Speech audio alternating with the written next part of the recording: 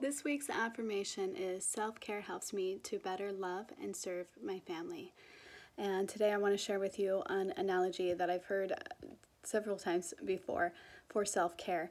It's like when you're on a plane and the flight attendant tells you to that in the case of an emergency to put on the oxygen mask on yourself first before putting it on your child. Doing this helps you to more effectively help your child.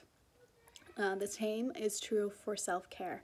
When you take care of yourself, you are more effectively able to take care of those who matter most to you.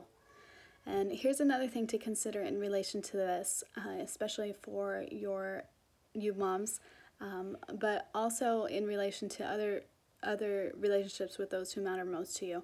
Do you want your kids or those who matter most to you to take care of themselves as they get older?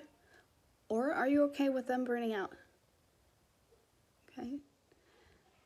Start now to practice self care and show through example and by your words and your example the importance of taking care of yourself.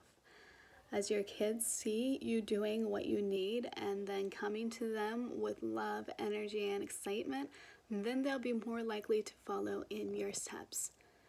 They'll be more likely to practice self care as they get older. And they'll be more likely to effectively manage their emotions as they get older because of the example that you are setting. And when it comes to like your spouse or close friends, um, siblings, things like that, you can also set a good example for them. And and that example will shine through and others will be able to see and learn from you. So remember that self care helps you to better love and serve your family.